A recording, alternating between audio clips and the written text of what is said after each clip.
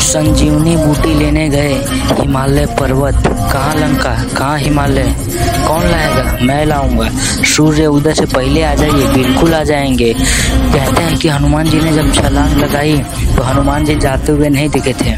एक रेखा जाते हुए दिखी। इतनी तीव्र गति से गए। और खाली जाना नहीं था।